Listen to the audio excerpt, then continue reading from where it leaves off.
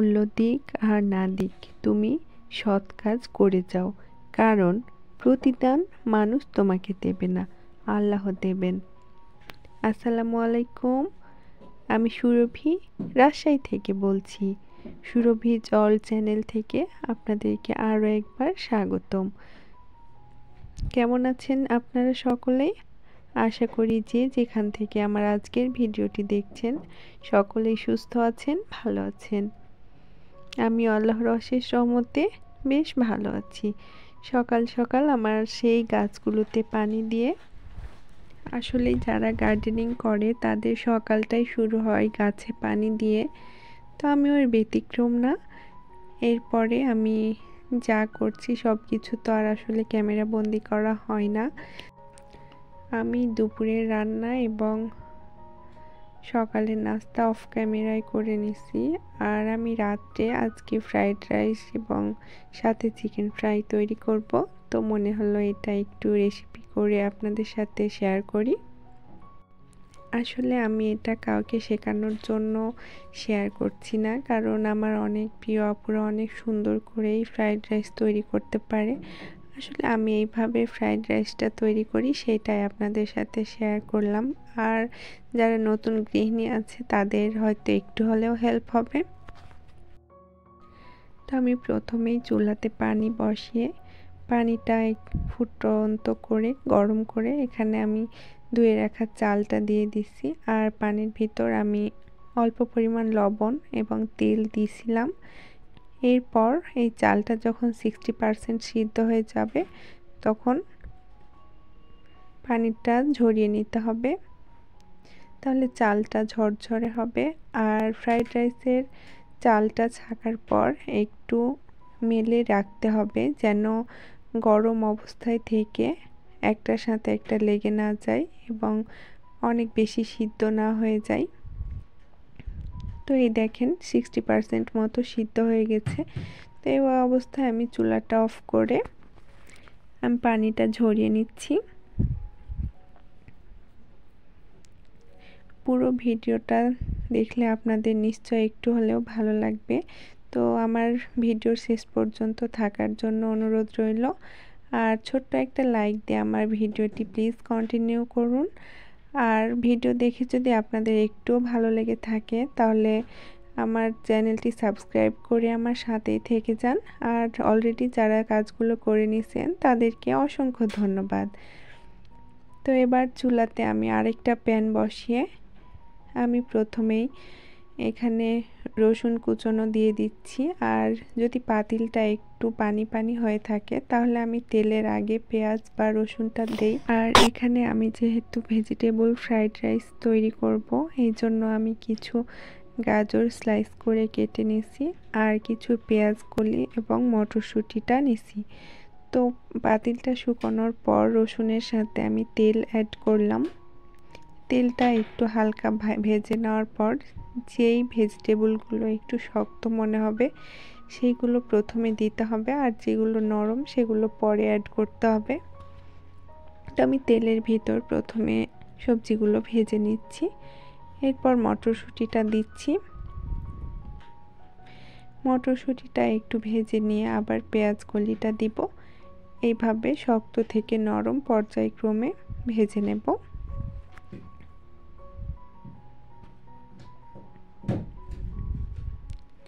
এই ছোট ছোট টিপসগুলো ফলো করলে অনেক সুন্দর ফ্রাইড রাইস হবে। তারপর পেঁয়াজটা দিয়ে দিচ্ছি। এরপর এইগুলো ভেজে ভেজে আমি চালটা এই পর্যায়ে ভেজে নেব।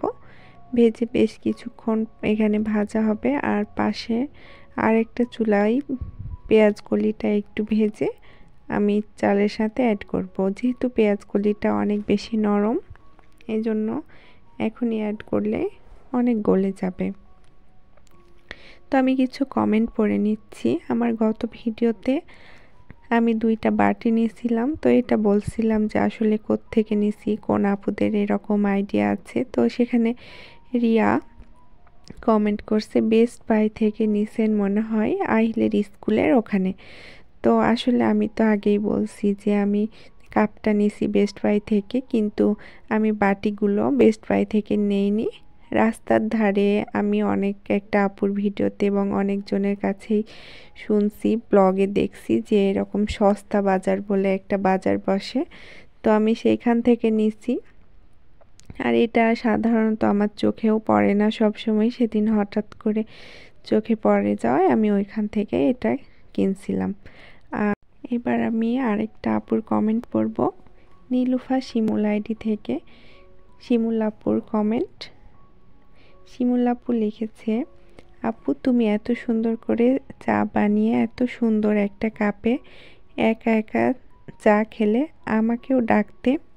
থ্যাংক ইউ আপু, এত সুন্দর একটা ভালোবেসে কমেন্ট করার জন্য। আর তুমি তো রাজশাহীতেই থাকো আপু, আমিও রাজশাহীতে থাকি। তুমি চাইলেই যে কোনো টাইমে আমার বাসায় চলে আসতে পারো। তো তোমার দাওয়াত রইল আমার বাসায়। শুধু চায়ের না, চায়ের সাথে টায়েরও দাওয়াত রইল। আমার মামুনি এবং বাবাটাকে নিয়ে খুব তাড়াতাড়ি আমার বাসায় আসো। অনেক বেশি ভালো লাগবে। তোমার জন্য অনেক অনেক দোয়া আর ভালোবাসা রইল, আপু। এরপর আমি চালের ভিতরে কিছু সয়া সস অ্যাড করলাম। দিয়ে আবার কিছুক্ষণ নাড়লাম। আর এখানে কিছু চিলি সস দিচ্ছি।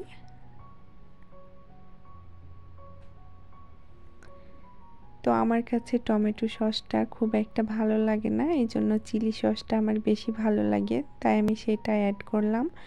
আর এখানে যে পেঁয়াজ কলিটা আছে, সেটা আমি হালকা তেলে ভেজে নিচ্ছি, ভেজে নিয়ে রাইসটার সাথে অ্যাড করে দেব। তো এইরকম ভেজিটেবল শীতের সময় তো অনেক সবজি পাওয়া যায় এটার সাথে বাঁধাকপি দিতে পারেন ক্যাপসিকাম বা আরও বরবটি যার যা পছন্দ সেই রকম সবজি দিয়ে খুব সহজেই তাড়াতাড়ি তৈরি করা যায়। বাচ্চাদের টিফিন, লাঞ্চ, ডিনার যে কোনো টাইমেই বাবুরা অনেক পছন্দ করে। তো এটা তো আমি মাঝে মধ্যেই তৈরি করি। আর পেঁয়াজগুলির সাথে আমি ডিম দিলাম। ডিমটাও আমি এভাবে একটু ভেজে নিচ্ছি হালকা করে। ভেজে আমি রাইসের সাথে অ্যাড করে দিচ্ছি।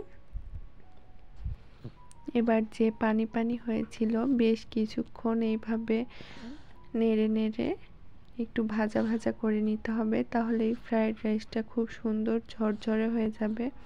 ফ্রাইড রাইস রান্না করার আরেকটা টিপস অ্যান্ড ট্রিক্স যেটাই বলেন, সেটা হচ্ছে চাইনিজ যে কোনো খাবার তৈরি করতে হয় হাই হিটে লো ফ্লেমে রান্না করলে সেটা কখনোই পারফেক্ট হয় না এবং এটার টেস্টও খুব ভালো আসে না। এই জন্য সব সময় এটা হাই হিটে রান্না করতে হয়।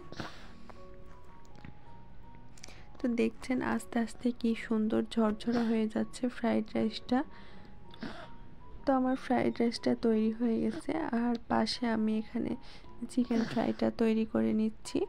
এই মাংসটা আমি এক ঘণ্টা আগে ম্যারিনেট করে রাখছিলাম।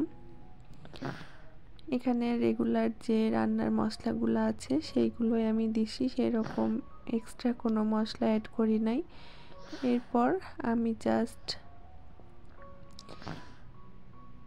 ময়দাতে গড়িয়ে নিচ্ছি।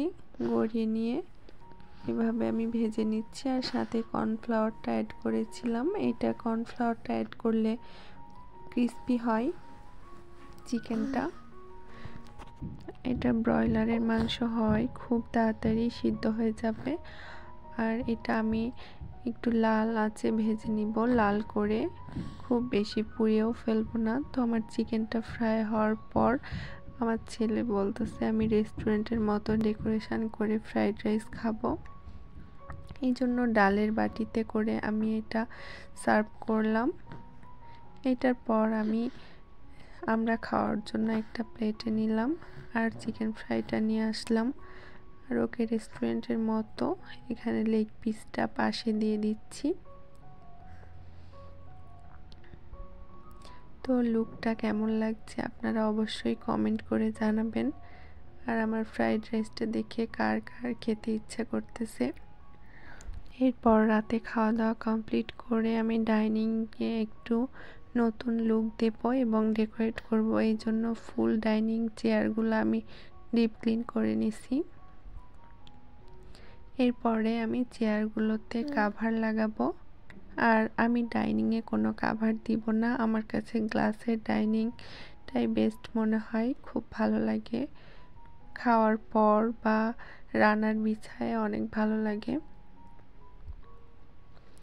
তো এখানে চেয়ারের কাভারটা আমি আনবক্সিং করে দিলাম। এবার চেয়ারের কাভারটা আমি চেয়ারে খুব সুন্দর করে পরিয়ে দিচ্ছি। প্রথমে একটা চেয়ারে পরাচ্ছি আর এটা পরানো খুব ইজি জাস্ট এখানে পুরোটা সেট করে যে দিকটা বেশি বড় থাকে ঝুলোনো সেটার চেয়ারের যে বসার জায়গা সেটা থাকে। এরপর পিছনে জাস্ট একটা ফিতা আছে। সেটা লাগিয়ে দিলেই হয়ে গেল। তো আমি ছয়টা চেয়ারেই খুব সুন্দর করে ডাইনিংয়ের চেয়ারগুলোতে লাগিয়ে দিলাম কাভারগুলো। তো কেমন হয়েছে অবশ্যই কমেন্ট করে জানাবেন। তারপর একটা হোয়াইট কালার। আমি জাস্ট একটু ডেকোরেশনের জন্য আমার একটা হোয়াইট হিজাব ছিল, সেটা আমি দিলাম রানার হিসাবে। এরপরে আমি যে মগ হোল্ডারটা ছিল, সেটা রাখলাম। তারপরে আমার ফ্রুট বাস্কেটটা রাখলাম। তারপরে জাস্ট এখানে একটা ফ্লাওয়ার বাস রাখলাম আর্টিফিশিয়াল গোলাপ। কিন্তু এই ফুলটা আমার এত ভালো লাগে, একদম রিয়ালের মতো মনে হয়। মনে হয় যে সত্যি গাছ থেকে আমি ফুলটা নিয়ে আসছি। তো আমি যখন ডাইনিংটা ডেকোরেট করলাম তো আমার হাজব্যান্ড বলতেছে এইরকমভাবে সুন্দর করে ডাইনিংটা সাজালা, তো এখন কি খাব? রাত্রের খাওয়া দাওয়া তো শেষ হয়ে গেছে, তো আমি বলছি, দাঁড়াও, তোমাকে আমি খাবার দিচ্ছি। এই জন্য বাটিতে কিছু খেজুর এবং কাজু দিলাম। তো আমার ছেলে হাজব্যান্ড আর আমি সেটা একটু করে খেয়ে নিচ্ছিলাম। তো আমার ফুল ডাইনিং ডেকোরেশন এবং লুকটা কেমন এসছে? অবশ্যই আপনারা কমেন্ট করে জানাবেন। এবং কোনো কিছু যদি স্কিপ হয়ে থাকে বা আরও নতুন কোনো আইডিয়া থাকে, তাহলে সেটাও কমেন্ট বক্সে জানাবেন। আমার অনেক বেশি ভালো লাগবে। যারা ইউটিউবিং করে, সেখান থেকেই যে সবাই শিখবে এমন কোনো কথা না। সবাই সবার কাছ থেকেই শিখতে পারে। আপনারা কমেন্টের মাধ্যমেও আমাদেরকে অনেক কিছু শেখাতে পারেন।